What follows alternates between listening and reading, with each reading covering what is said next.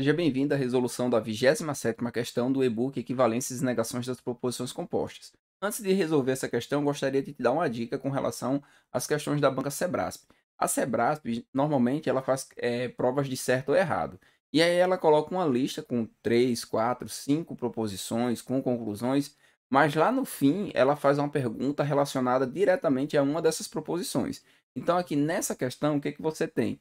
Você tem quatro proposições, quatro premissas, certo? E uma conclusão.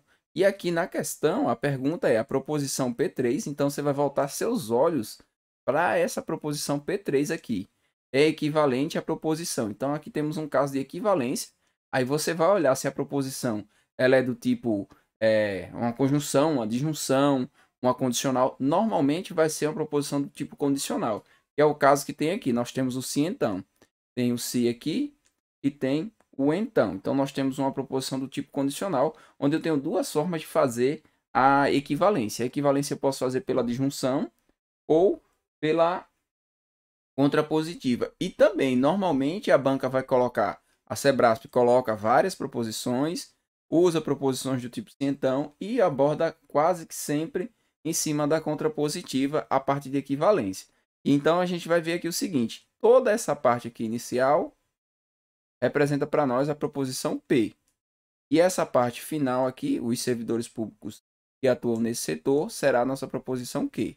Para fazer a contrapositiva, nós negamos ambas as proposições e invertemos a ordem. Então, aqui já tem o sim, então. Já tem o sim, então. Agora, o que, que você vai olhar? Você vai ver o seguinte, se houve essa negação e inversão de ordem.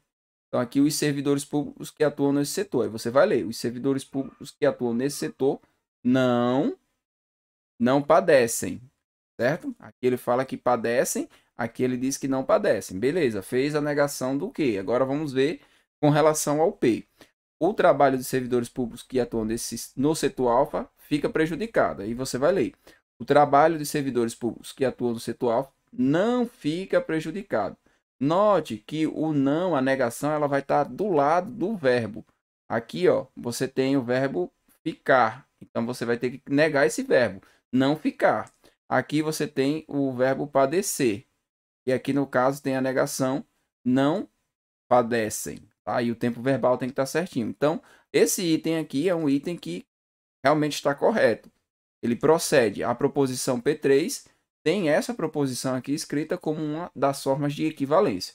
Eu espero que você tenha compreendido certinho a resolução e vejo você na próxima.